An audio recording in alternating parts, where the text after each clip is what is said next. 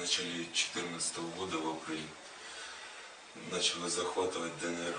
Все полностью весь Славянск. Школы, город дел такой.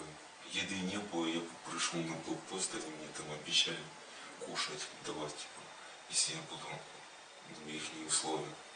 Там набивать мешки с землей, там возить машины, там проверять. Этот, ну, начал там мешки набивать, воду носить, дрова рубать.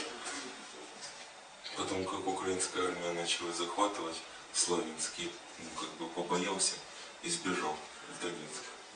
Побоялся, что ну, в тюрьму посадят.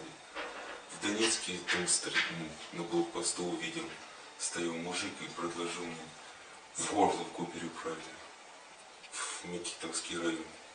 В Горловке я тоже кушать готовил, воду им носил. После того два месяца прошло, приехали какие-то военные и начали издеваться надо мной.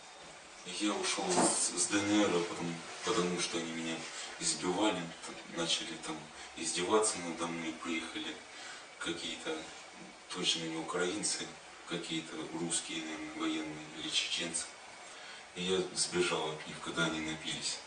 Сбежал я в Авдеев, два года в Авдеевке, перебывал, скрывался ДНРовцев. Мне там встретил бабушку, бабушка мне помогала, там кушать готовила, накормила. После таких военных пришел и рассказал всю ситуацию, как было. Ну, и они мне рассказали, что есть такая программа СБУ на ТВ чекает в дома. И, ну, как бы, они меня отвезли, и я в- Возвращаясь к тем ребятам, которые на той стороне.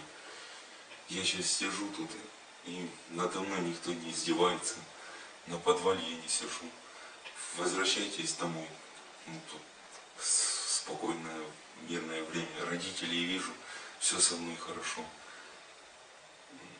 Ис- Используйтесь программой СБУ на ТБ чекать в дома.